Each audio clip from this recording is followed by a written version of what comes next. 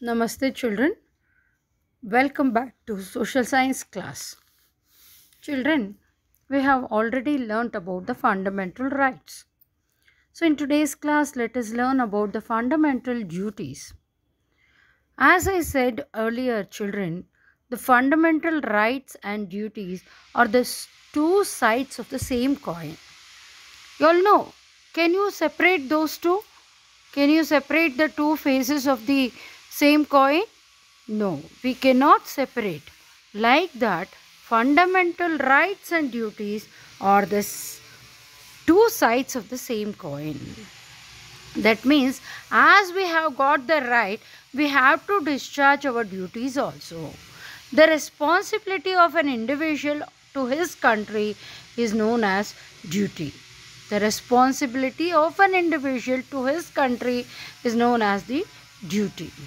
In case the people discharge their fundamental duties with self motivation, that is, we ourselves we have to discharge our fundamental duties, and then the progress of the country becomes easier.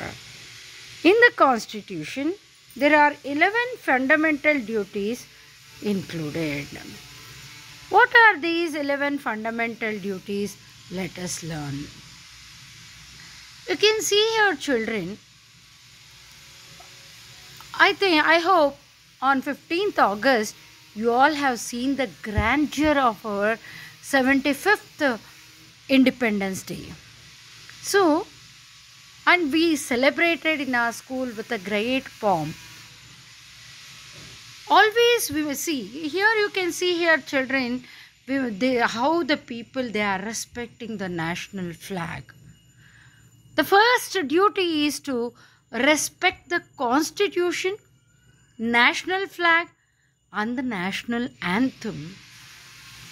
We cannot sing the national anthem as you like and hoist national flag whenever you like, wherever you like. There are certain things we have to respect the constitution, national flag, and the national anthem and to follow the noble ideals that inspired our struggle for freedom. Because you all know, children, what an amount of struggle our people, our ancestors have done for the freedom. So, and also we have to protect the unity of India. And we must defend the motherland, Mother India. We must defend the motherland. And we must promote the spirit of brotherhood amongst all the people of India. And to preserve our rich heritage. What are, what are our heritage children? There are so many uh, monuments we have got like forts, palaces, architectural marvels, museums, art galleries, many, many, many we have got. These are all our heritage. So we have to preserve our rich heritage. We must not spoil them. And the next is uh, also we have to protect and improve the natural environment. We have got such a great natural environment, but we must not spoil that. We must protect our natural environment, environmental protection, and also to develop the scientific temper. You can see here how the children are um, they are uh, doing these researches. And so many they children you must never uh, just believe whatever others say. We have to put into a spirit of inquiry. How it happened? What happened? How it comes? If we tell you something then you must uh, look into it. What happened? Why it has become like this?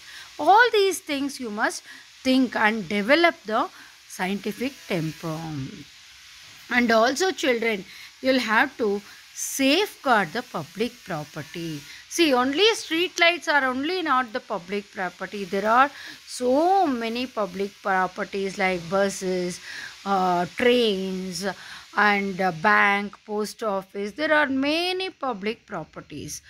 And if any problem arises, the people will be they get into the um, yeah, spoiling or spoiling these public property they will burst into fire. All that they will do and like you know the violence they will do uh, hitting one another or so many things they will start. So such things should not happen.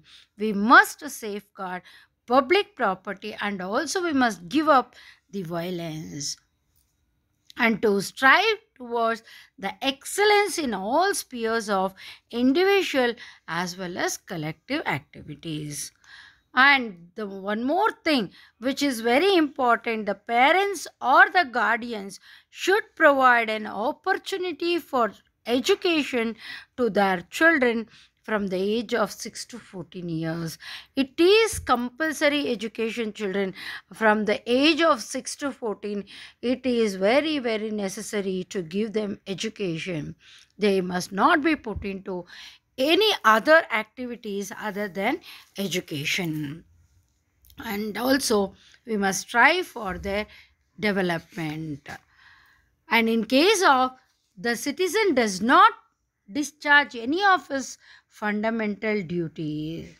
See, when we don't have, when any, our violation of any right, the, um, uh, the people or the citizens can question that in a court of law.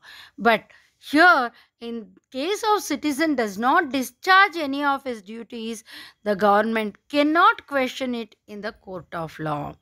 It is the self motivation, children. All the citizens are expected to do their duties with self motivation. What are your duties, children? What are your duties? Tell me. Can you tell me your duties? Now, right now, your duties are learning, writing, reading, whatever the work assigned to you by the teachers or the elders or at home by the parents, you, are, you must obey them and discharge your duties. Okay, children? And what all the duties to be discharged by you, you must discuss and tell me. Okay, children? Thank you.